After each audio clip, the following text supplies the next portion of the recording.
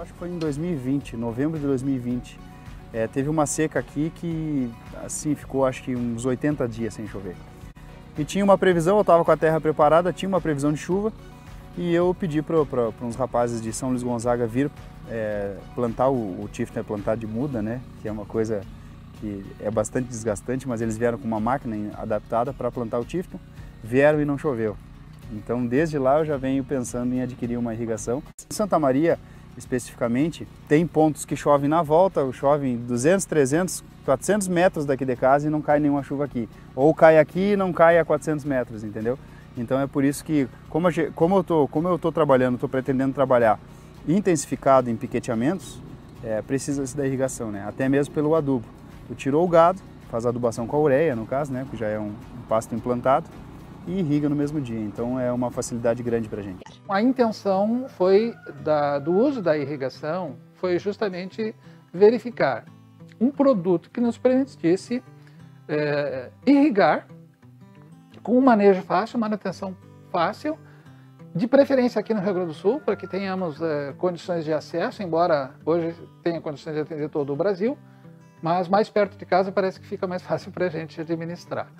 Então, e também que fosse um preço acessível e que tivesse é, uma rotatividade, uma, uma facilidade de transporte e, e, como eu falei, de operação. É muito caro hoje, atualmente, você formar uma pastagem. Você produzir um hectare de silagem, tu gasta não só com o preço da semente, mas olha o combustível, tudo em alta hoje, né? O combustível, a mão de obra e principalmente os adubos, né? E o pior de tudo, você faz todos esses investimentos, se você não tiver água, você pode botar um melhor investimento em pastagem, um melhor investimento é, na preparação do solo, etc., mas você não vai ter o, o desenvolvimento da planta. Então, a estratégia de irrigação é indispensável para a garantia de alimento dos animais. Existem vários modelos de equipamento e alguns com, com os respectivos valores econômicos variáveis, né?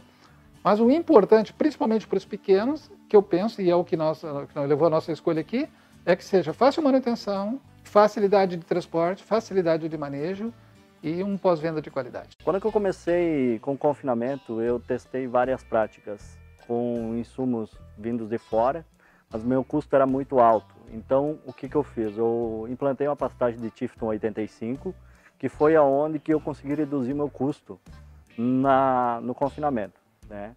É, e com o passar dos anos eu tinha um pouco de dificuldade em relação ao clima. A, a falta de chuva ou às vezes as chuvas mal distribuídas faziam com que a, na minha área eu não tivesse a produção estável. Eu fui procurando, né, muitas vezes a pastagem por falta de água não tem o crescimento suficiente ou por falta de adubação, por tu não conseguir fazer adubação no período certo, porque eu trabalho em círculos, cortando, então chega naquela época de fazer adubação, eu tenho que fazer adubação, né? não, não posso depender do clima. Ali com irigatinho hoje eu consigo fazer, que é a aplicação de esterco de porco ou ureia, né? Quanto mais nutrida, mais proteína. Então a irrigação nesse ponto é fundamental.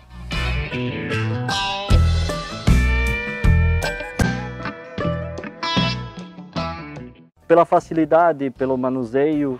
Então hoje o, o irigatinho é indiferente do que, que tu produzir, hoje em pastagem ou outras culturas, tu pode utilizar ele bem tranquilo e com custo baixíssimo.